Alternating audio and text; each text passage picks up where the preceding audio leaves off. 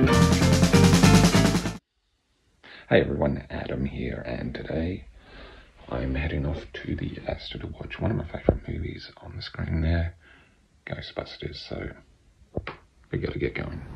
There it is, the iconic Astor in Melbourne. And here's the interior, uh, it's very old school. And up we go to the cinema there.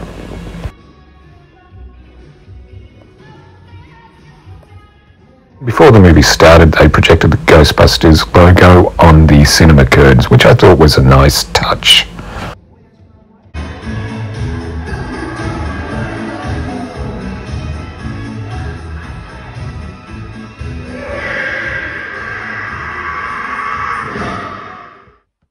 Okay, so that was my trip to the Astor to see Ghostbusters.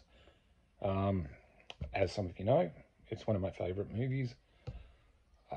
It was great seeing it on um, the big screen at the Astor. It's an iconic cinema here in Melbourne.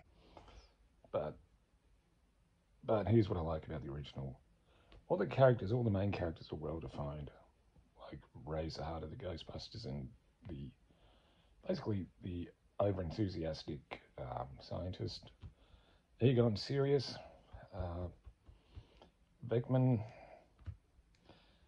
you know, bit of a smart mouth, uh, bit of a flirt. And of course, Winston, the uh, everyman who he comes off the street and starts working with them. But you know, there's so many good characters.